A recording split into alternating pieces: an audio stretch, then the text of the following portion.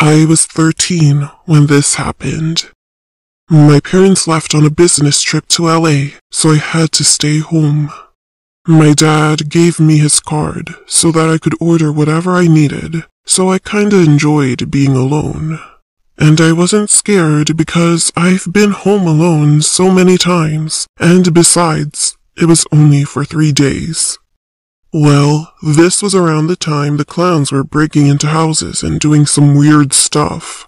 But they never came to my area since they usually hit more quiet places, especially the area near a forest.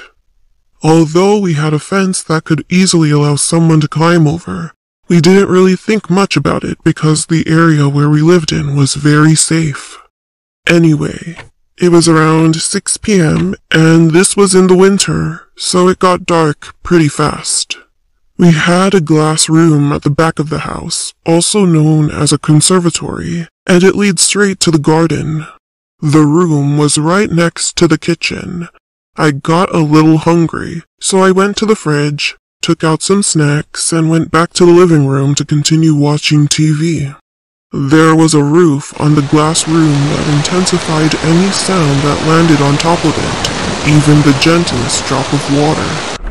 That day, it was raining heavily, so it was too noisy to hear anything except the rainfalls pounding on the roof. About a few minutes later, I was quite sleepy, so I decided to go up to my room and lay down. I was about to grab my phone and check my social media, but then I heard something drop really hard on something downstairs. It really creeped me out. I got really scared, but decided to go downstairs to check, thinking that it would be nothing. So I came out of my room, went halfway down the staircase, and looked down the hallway. The whole area was dark, but I knew that someone was standing there. I saw the back silhouette. I quickly went to my room trying not to make any noise. Then I heard someone walking around the living room. I immediately called the police and whispered to the operator that I needed help ASAP. but all of a sudden I had a sneezing fit. I was so panicked at that moment, so I instantly ran to the bathroom since it was the only room with a lock. As I was reaching the bathroom, he sprinted up the stairs so fast. I locked the door and tried not to cry. The man tried to open the door. He kept turning the doorknob. The bathroom had a small blurry window, but I was able to see outside. So, just then, I got a glimpse of what was at the door. It was a clown, with green hair and without a nose. He was wearing a very weird outfit and was holding a gigantic knife. I had no other choice, so I quickly hopped inside the bath, opened the big window, and jumped out. I slid off the big roof and fell on the concrete. I couldn't even feel my injury because I was so scared. As I was about to hop on the fence, I heard the cops. They entered our house, and after that, they arrested and cuffed him. When he walked past me, I was so scared and my body was shivering. But I was glad that it was over. The police contacted my parents, so they came back home in a hurry. I would see them again, and I knew that I was safe now. From then on, I never stayed at home alone, and that clown guy was in prison for several years for scaring kids and for possible murder. This happened when I was 17 years old. I was a senior in high school. It was the middle of the week and my friends and I were chatting online about wanting to do something new and fun over the weekend. We usually just went to the movies, went to the mall, or got dinner. And I thought we should try something different. The next day, I was in the computer lab for one of my classes, and I had some time to kill because I finished my assignment early. Keep in mind, Snapchat and Instagram were just starting up and didn't have the same kind of popularity as it has today. So the only thing we really had at the time was Facebook. However, my school was strict and blocked Facebook, so the only thing I could really do was read articles on news websites. While searching and scrolling through the internet, an article showed up. It was about an interview with a man who was discussing the truth of paranormal activity around the area I grew up in. Intrigued, I read the article and looked up the places the guy was talking about. And sure enough, I found a bunch of things. One place in particular caught my eye. It was a place about 20 minutes away from where I lived. It was known to have multiple paranormal occurrences happen on the exact same road. As soon as class ended, I texted my friends about what I found, and we all agreed on going and seeing what this road was all about Friday night. Friday night finally arrived. It was me and four of my friends. Right before we entered the location, I parked my car and had my friend drive, because we believed that if a guy drove, not much would happen. So she drove my car while I was sitting in the passenger seat. While switching seats, my other friends put baby powder on the top of my car. Because one of my other friends had read that it helps people see when ghosts touch or brush your car. It started to drizzle a bit, which bummed us out because the baby powder would be washed away. As we were driving my car, we turned off the radio to make it more suspenseful. All of a sudden, we heard someone from a distance scream bloody murder. At that moment, I heard the sound of a car door trying to be opened, as if someone was aggressively trying to get into my car. After that, we saw a police car driving so fast with the sirens on as if they were chasing someone on a major highway. The problem with that was the road was paper thin and had tons of sharp turns, so you couldn't go that fast without crashing into another car. Plus, the car didn't have any of the county police or trooper tags from the area I lived in. I knew that because my dad was a cop, and I saw all kinds of different cop tags in my lifetime. Was freaked out that those two things just occurred. We were all freaked out and drove to the nearest parking lot so that we could calm down. As we got out of the car, one of my friends started to freak out even more. The baby powder on the roof of my car was smeared, and it was all over my passenger seat side door. What was even more creepy was the fact that there were finger marks all over the door. Now this wouldn't normally creep me out, but we were driving the entire time, and we all made sure not to touch the doors when entering the car. The strangest part was that the finger marks had no fingerprints but were clearly shaped like a hand. It was as if someone was trying to reach for the door handle. Not only that, we also noticed that there were fingernail claw marks on my door handle. This freaked me out because earlier I heard someone violently trying to open my door. In the next few days, we told everyone, both online and in person, about that night and how it freaked us all out. Then, someone sent me a link to an article about the street we drove on, and all the activity that occurred on it. But it wasn't the one I originally read. It was a different one. As I was reading the website, I started to notice that all the things mentioned also happened to me the same exact way that night. But what freaks me out the most to this day is thinking about what would have happened if I didn't have my door locked. Would the door have opened up?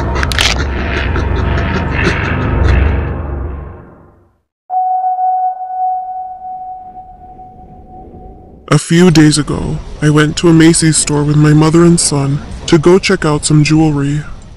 While my mom was checking out jewelry, I noticed an old man around his 50s come near us. He was about 8 feet from us, at first, I thought he was just a random customer checking something out for his lady or something. Then, from the corner of my eye, I noticed he was just standing there without moving and looking at us. It made me feel uncomfortable, so I turned around, moving the stroller, which my toddler was in, because I didn't want him looking at my baby. I turned my eyes to look at him again, and I could see that he was just staring at me with a creepy look. He was staring at me and my baby. Then, all of a sudden, he grinned widely at us. The weirdest thing about him was that he was wearing women's shoes and a scarf, and also holding a dress in his hand. He opened his mouth and tried to say something. I couldn't hear what he was saying, but I could read his lips. I like you. I like your baby. I just thought the man was a weirdo. And then my mom also noticed that he was odd and creepy.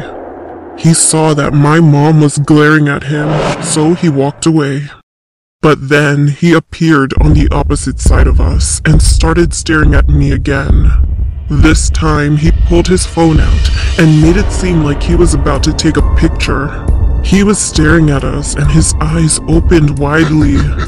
He was smiling like a crazy psychopath. That was enough.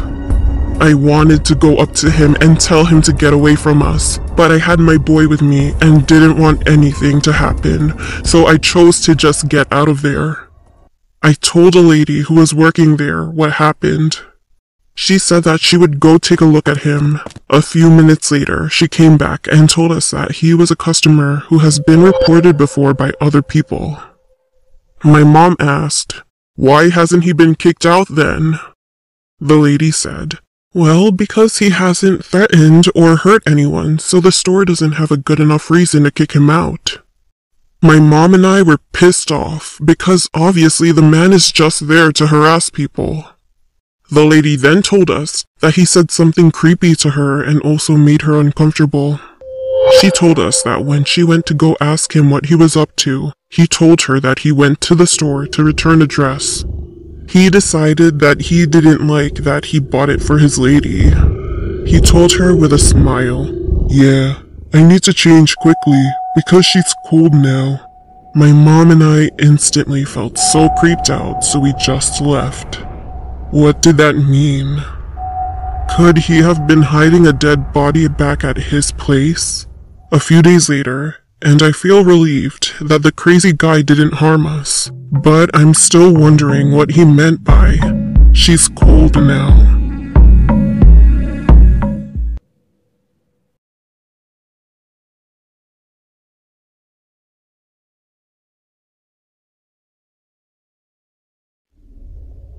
This story happened in the summer of 2017 when I was 10 years old. My older brother and I had a babysitter, and she was around the age of 17. Since my mom was home on Tuesdays, the babysitter would come on the other weekdays. Most days when she babysat, we would go to the neighborhood pool, hang out, and eat lunch there. Then we went back home and my mom would arrive a bit later at around 5.30 in the evening. On one Thursday, the day was just an ordinary one, and the babysitter came around 8 in the morning. A few hours later, we decided to head to the pool and eat lunch. We all got ready and headed out the door. As I used to be a little paranoid back then, every time I went outside, I made sure I locked the door and would immediately turn the doorknob and try to open it to make sure it was locked. The door was definitely locked. So we walked to the pool and swam for a while. Then we ate lunch and decided to head back to the house. When we got home, I pulled out the key from my bag, but I noticed that the door was a crack open. I pushed it and the door swung open. A little chill ran down my spine as I remembered that I made sure the door was locked before leaving. My babysitter had a frightened look on her face too. But my stupid brother thought nothing of it and just walked right in, so we followed him. About my house, when you walk into the house, to the right is an entryway to the living room, and straight ahead is a hallway to the kitchen. The stairs are to the right of the hallway, and you can see the upstairs railing from the entrance. We walked into the kitchen and set our stuff down, and I went to go lock the door. After I shut it, I turned back around to go back to the kitchen, but something caught my attention at the corner of my eye. Looking up at the railing, I could see the silhouette of someone crouched behind a tall, narrow floor fan. I looked a little closer, and I could see their eyes. They were wide open and were staring directly at me. I was frozen in fear and couldn't move. All I could do was stare back at them, not knowing if it was a man or woman. My babysitter called for me to come to the kitchen, and the figure slowly walked into a nearby room and disappeared. I ran into the kitchen, telling my babysitter and brother what I saw. At first, they didn't believe me, but then, all of a sudden, we were all silent as we heard slow footsteps creaking from upstairs. She quietly grabbed both her phone and a kitchen knife and ushered us to the back door. She slowly turned the doorknob and tried to not make any noise while opening the door. We made it to the backyard and she was going to call 911 on her phone. But before she could, we heard a tapping sound coming from one of the windows on the second floor. So we all looked up and then we saw him. He was a man, late 50s, short black hair, eyes still wide open, staring at us. He was pushing the blinds out of the way, so we saw his face very clearly. We screamed and started running to the gate on the side of the backyard. The babysitter dropped her phone while scared, so I picked it up and ran behind her. I dialed 911, told them our address, and explained to the operator what just happened. She said they would be there in a few minutes, told us to go to a nearby neighbor's house and stay there until the cops arrive. We rang a doorbell a few times and one of our neighbors, who was retired, came outside. He let us in and we explained what happened as we were looking out of the window. Then we saw three cop cars pulling up and the cops were surrounding my home. Three cops headed in through the front door and investigated our house. We went outside to tell them that we were okay, and the other police officer started questioning us. Soon the cops came back after finding nothing and doing a thorough investigation. They told us it would be best to not stay home, as the person may come back. So the babysitter said we could go to her house, which is about a mile away. Just then, we heard our neighbors screaming from down the street. A few houses down, a policeman's car was set on fire and was smoking a lot. The cops spotted a man running past the corner down towards the end of the street. One officer took us to the babysitter's house, while the other three went after that man. We later found out that the man had gotten away so he never got arrested. Our parents arrived home as they were contacted by the police and freaked out. Later that night, we came back to the house and we searched the whole place to see if anything was missing. A cash box that was stored in my parents' bedroom was missing, but we didn't report it since the man was never found. I have no idea who that was or how he opened our front door. I still wonder to this day what would have happened if I never noticed the man. He could have done something to us while we were sleeping. I still feel uneasy sometimes when I'm home alone.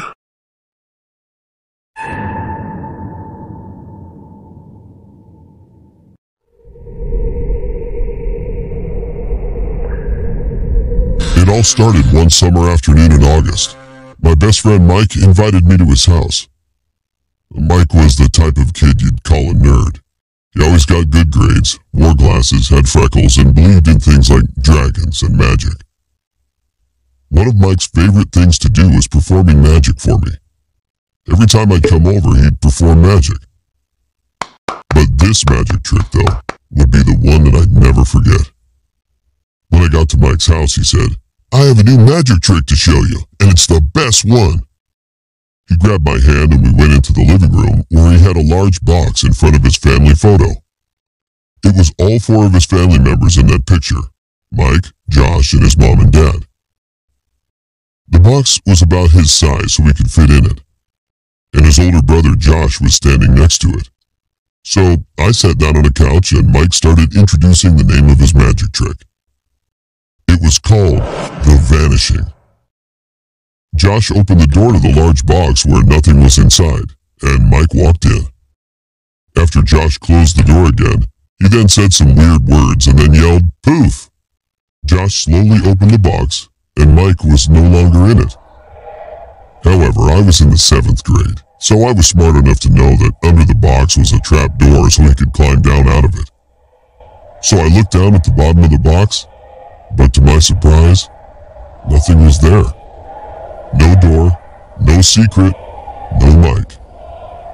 Just at that moment, my mom called and said that I need to come home right now. I said bye to Josh, grabbed my backpack, and yelled, Nice trick, Mike. Gotta go. Everything was fine, just until the next day. The next day, Mike didn't invite me, but I thought of going to his house again. I ran up to his house, stood in front of the door, and rang the doorbell three times. His dad came out and said, Oh, hello. Nice to meet you. He acted like like that he'd never seen me before. It was weird, but I asked, Good afternoon, sir. Is Mike home? Then I could see his confused face, and he answered, Mike? Who is Mike? I felt stupid at that moment, as if I had come to the wrong house. I then quickly asked, Your son Mike. You have two sons. During explaining the situation, I felt irritated, so I pushed him to the side to get into the living room. Josh, I said, pointing to the photo, and. And then, my eyes widened. Mike wasn't in the photo. I was pointing to nothing, which would have been where Mike should be standing in that picture. I panicked and I couldn't believe what was going on here.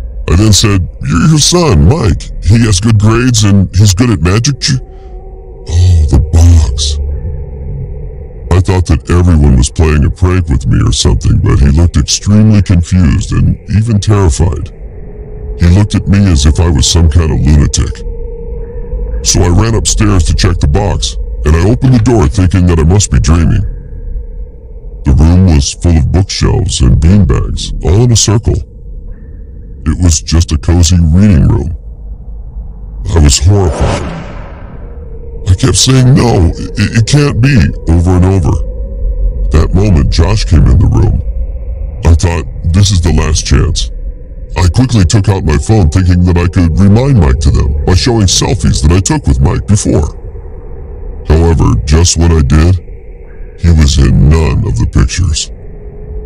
The one where I gave him a hug, where we went to the other friend's birthday party and took a picture with the clown, nothing was there. It was like he never even existed before, and I felt that moment was like a nightmare. To this day, there is literally no one who remembers Mike in my town. I still can't believe what happened to Mike, but I definitely believe that Mike is real, and he must be somewhere.